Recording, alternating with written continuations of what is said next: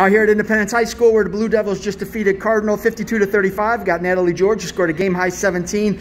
Natalie, big offensive night for you. You score, but you usually don't score that many. What was working for you tonight? Um, you know, I'm just I'm just a little point guard who is meant to get the ball to her scores, and I took advantage of open lanes and people over closing. So it was just a matter of getting the ball in the lane and finishing. Scrappy game there in the first quarter, a little back and forth. You guys started pulling away in the second. What what changed?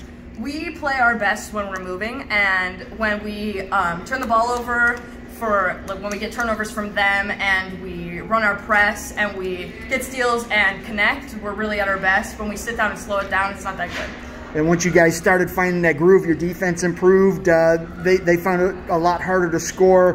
What were you guys doing defensively to, to change that up? Defensively, I mean, we always prep uh, a few days prior to the games. So really, that's to our coach who scouts and teaches us the plays, and then gets us going. And we just have to listen to him. Uh, early in the season, still, but how much growth have you seen out of this team?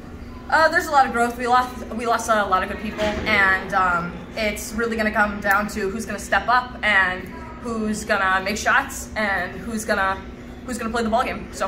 All right, thanks, Nick. Congrats. Thank you.